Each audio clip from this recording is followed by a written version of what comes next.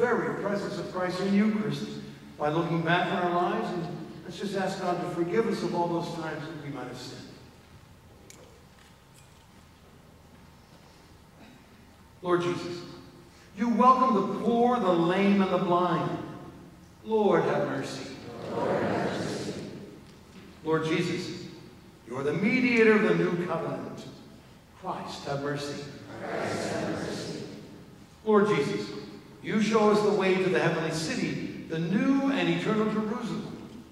Lord, have mercy. Lord, have mercy. Almighty God, have mercy on us. Forgive us our sins and bring us all in everlasting life. Amen. Together let us pray the glory. Glory to God in highest, and on earth peace to people of goodwill. We praise you, we bless you, we adore you, we glorify you. Give you thanks for your great glory. Lord God, heavenly King, O God, Almighty Father, Lord Jesus Christ, only begotten Son, Lord God, Lamb of God, Son of the Father, you take away the sins of the world. Have mercy on us.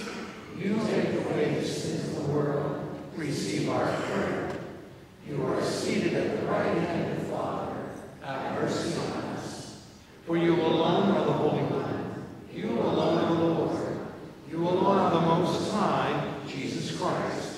with the Holy Spirit, in the glory of God the Father.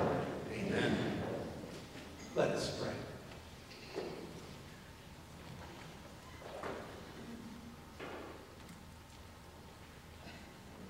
God of might, giver of every good gift, put into our hearts the love of your name so that by deepening our sense of reverence, you may nurture in us what is good, and by your watchful care, keep safe what you have nurtured.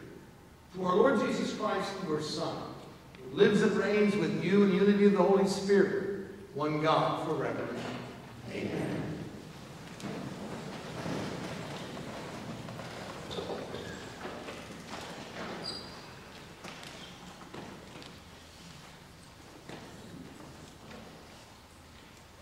A reading from the book of Sirach. My child, conduct your affairs with humility, and you will be loved more than a giver of gifts. Humble yourself, the more, the greater you are, and you will find favor with God. What is too sublime for you, seek not. Into things beyond your strength, search not. The mind of a sage appreciates proverbs, and an attentive ear is the joy of the wise. Water quenches a flaming fire, and alms atone for sins. The word of the Lord.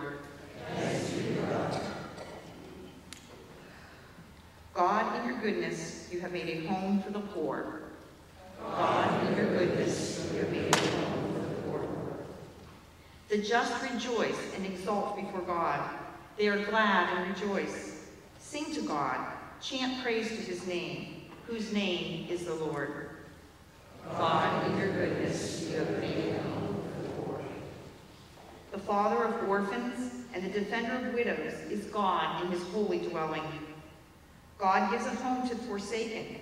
He leads forth prisoners to prosperity. God, in your goodness, you have made a home the. A bountiful rain you showered down, O God, upon your inheritance. You restored the land when it languished. Your flock settled in it. In your goodness, O God, you provided it for the needy. God, your goodness, you have made. A reading from the letter to the Hebrews.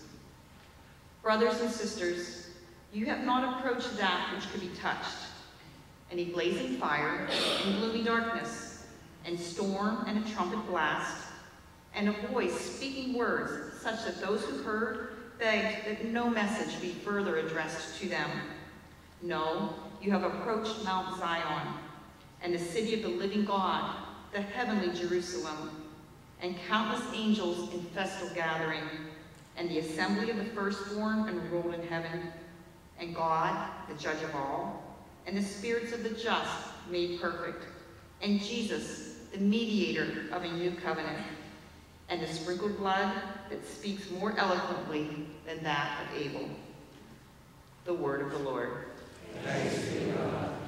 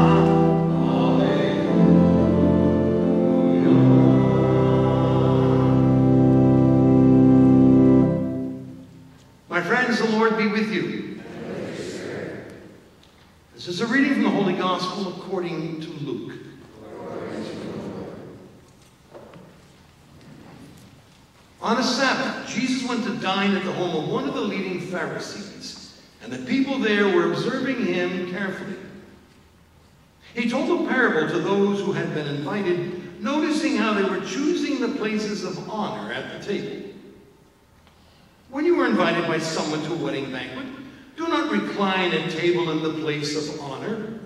A more distinguished guest than you may have been invited by him, and the host who invited both of you may approach you and say, Give your place to this man.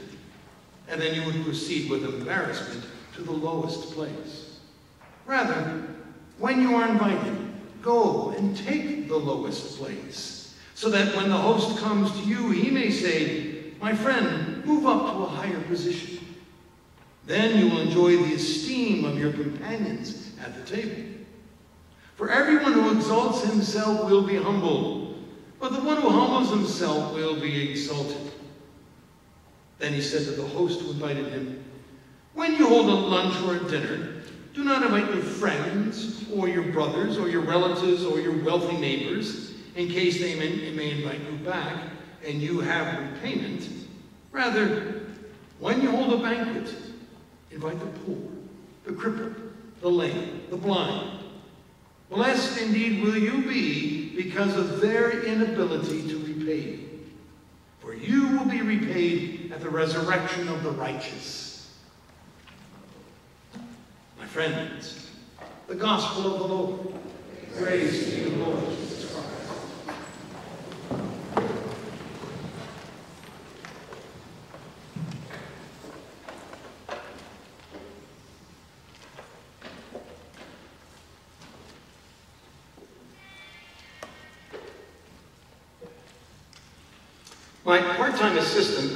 St. Jude's, Father Shane Matthew, Shane is a professor at Gannon University, he used to tell my parishioners, he used to say, you know, after Ronald Reagan left office and Johnny Carson went off the air, Father Dennis's life came to a screeching halt.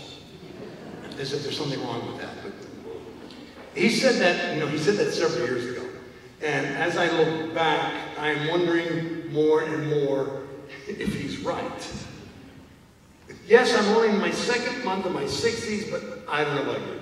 You know, but I wake up in the morning, you know, I put on the news, then hit the coffee, watch the news for a few minutes, and then I come to honestly believe that this country has gotten weirder and more insane since I went to bed, you know? And I say that every day. And after a few minutes of watching this, I then flick back to Gilligan's Island or The Sopranos, because that's less crazy than what's going on in our world, that's for sure. You know, and when you move, for months you pull things out of boxes and bags or whatever else you threw everything you own into. And there's some historical publications that, that I, I just say. I came across this supplement from Faith Magazine from April of 2005. It was when Pope John Paul II died. Now was St. John Paul.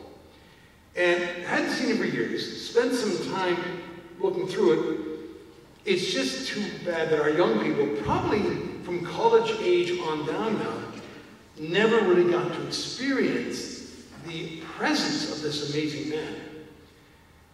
In this supplement, there was this big article on John Paul's official visits to the United States. In fact, he made seven of them.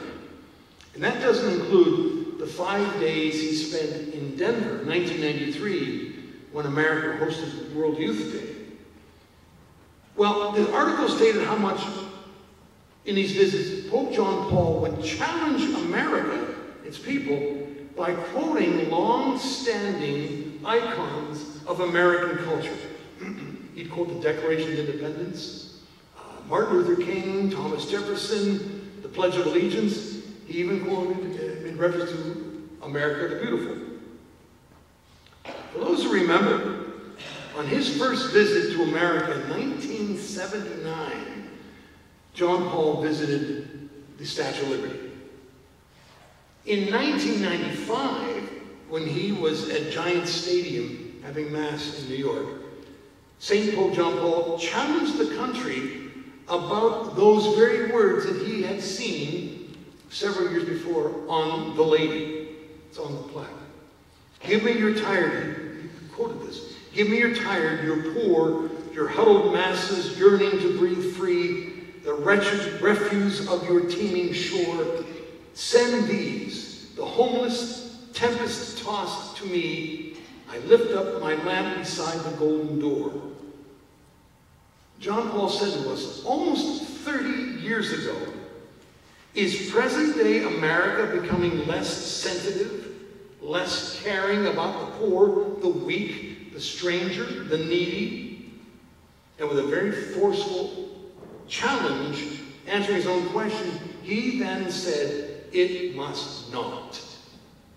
So here we are, 28 years later, and this country is now so wrapped up in taking extreme sides, so divided in politics and everything else, making sure everyone knows my opinion that I put on every social media, and on and on and on. And in all of this craziness, are we remembering what brings us together or constantly recalling everything that keeps us apart? And in the middle of all this, what about the person next door that no one talks to? Oh, wait, I don't even know my neighbor's name. The in the nursing home that you might see at Thanksgiving. What about the kid that sits by himself at lunch every day? In all of this craziness, are we following the gospel of Jesus Christ and standing firm in my faith? And is there anyone out there that can testify that I am?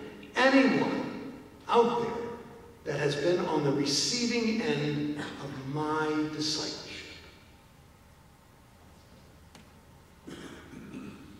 This is the third time in Luke's gospel that Jesus entered the house of the Pharisee, a Pharisee for a meal.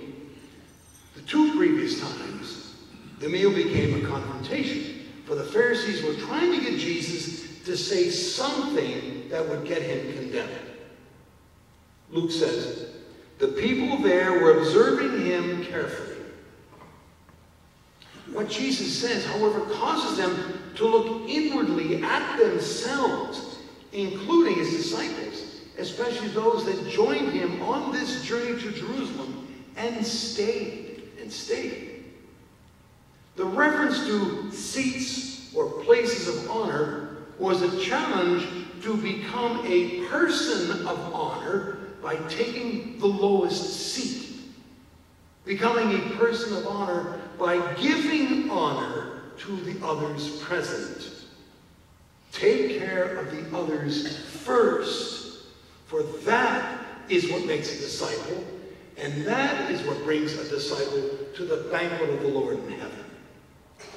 If we allow ourselves to sit in humble places, make sure others have seats, make sure others are cared for, finding comfort, being given hope and peace and forgiveness, especially those in the most need, the poor, the crippled, the lame, the blind, the grief-stricken, the outcast, the widow no one visits, the family member no one invites to Christmas dinner. If true disciples make sure all of those have seats, the Lord then will bring all of us then up to his higher table in his kingdom. Jesus was telling his disciples and the Pharisees that one doesn't get to that higher table by stepping ahead of or on everyone in front of them. One gets to God's table by bring, bringing everyone else with them. God gave us another day when we woke up this morning and brought us one day closer to Him and His table. I suppose that what we have done in our past, past few years or whatever is really, it's, it's irrelevant. There's nothing we can do about what we did in the past. It's done, it's over, forget it. But it is very often said, today is the first day of the rest of your life. So the future has unlimited possibilities. In 1987, when Pope John Paul was leaving Detroit, he said to America, the ultimate test of your greatness is the way you treat every human being, but especially the weakest and most defenseless ones. May we be strong enough to accept this challenge of our discipleship. Search out for those who are in need of hope and God's love.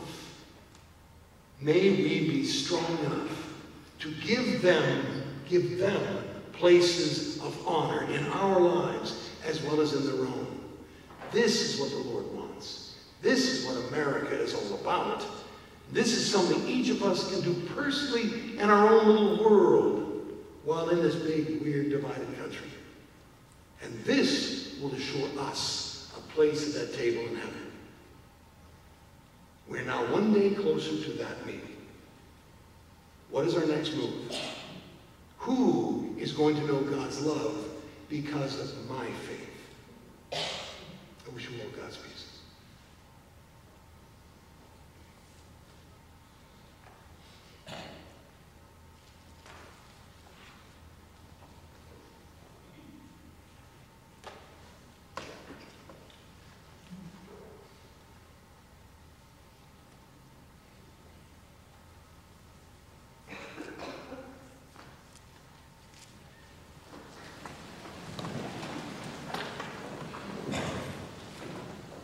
My friends, as we strive to be true disciples, together let's profess our beliefs in the God who gave us life.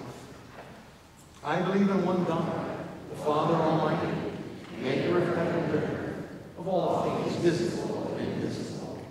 I believe in one Lord Jesus Christ, the only begotten Son of God, born of the Father before all ages, God from God, light from light, true God, true God, begotten, not made, consubstantial with the Father.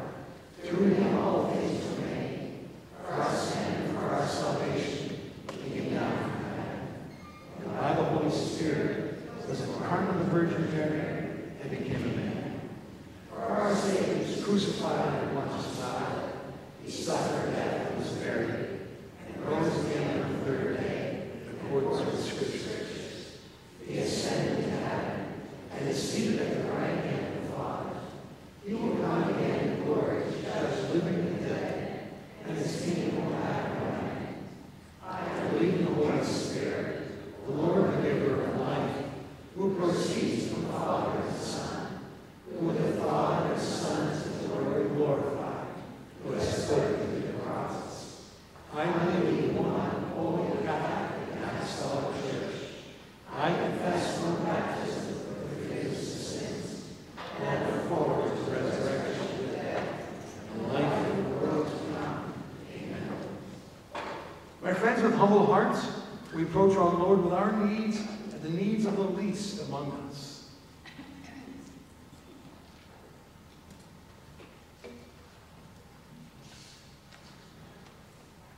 Please respond, Lord, hear our prayer. For the church, may we make people of all backgrounds, cultures, histories, and walks of life feel welcome in this one body of Christ. Let us pray to the Lord. Lord, hear our prayer. For our country's leaders, may they be inspired to invite those who have difficulty paying their bills or putting food on the table to move up to a higher position at the banquet of life. Let us pray to the Lord. Lord, hear our prayer. For all God's creation, may we care for all that we love so that our world and our environment may be sustained for generations as numerous as Abraham and Sarah's. Let us pray to the Lord. Lord, hear our prayer. For those who suffer in the heat of summer, especially those who are homeless and cannot afford adequate cooling, let us pray to the Lord. Lord, hear our prayer. For the poor, may we extend God's generosity to all those in need. Let us pray to the Lord. Lord, hear our prayer. For those who have died, may they be welcomed into the joys of paradise. Let us pray to the Lord. Lord, hear our prayer. For all the prayer requests through the prayer line and intention book, for our needs and intentions that we now recall in our hearts.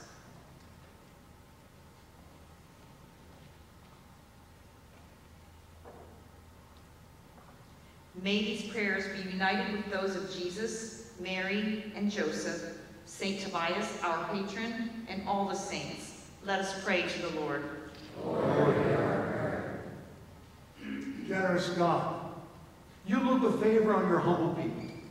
Listen to our prayers, which we offer with humility and contrition, and grant them according to your will, through your Son and our Lord, Jesus Christ. Amen. Amen.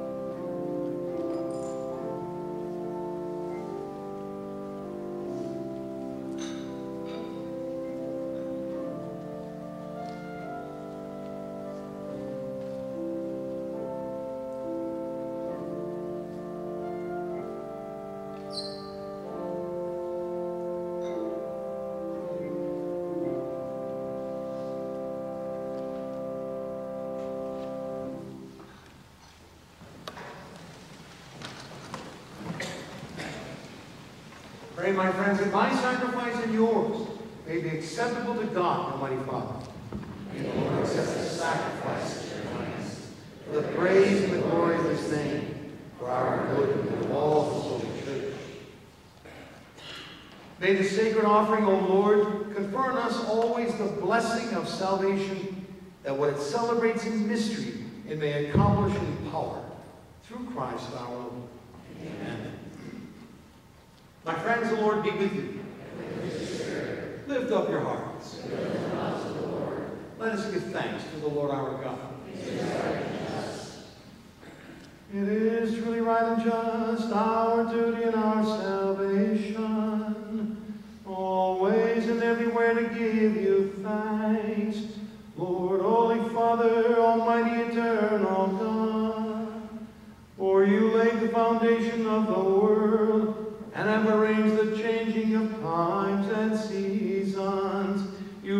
Us in your own image and set humanity over the whole world in all its wonder, to rule in your name over all you have made, and forever praise you in your mighty works through Christ our Lord. And so with all the angels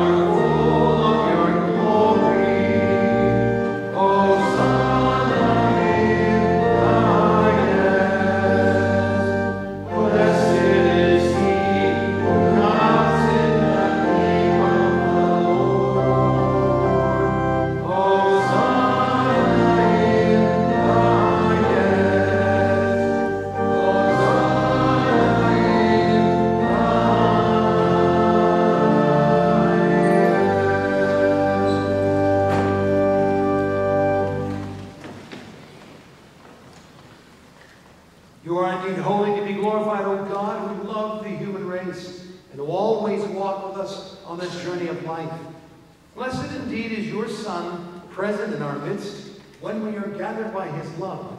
And when as once for the disciples, so now for us, he opens the scriptures and he breaks the bread.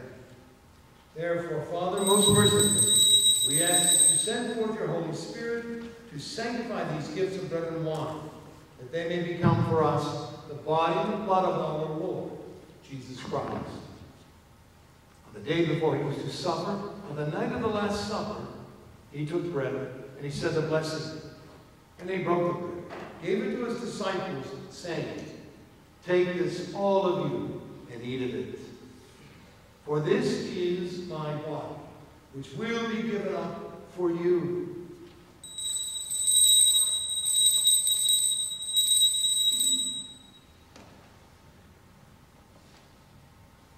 In a similar way, when supper was ended, he took the chalice and he gave you thanks.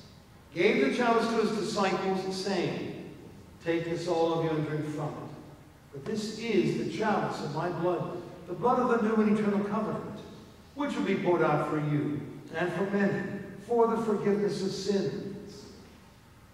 Do this in memory of me.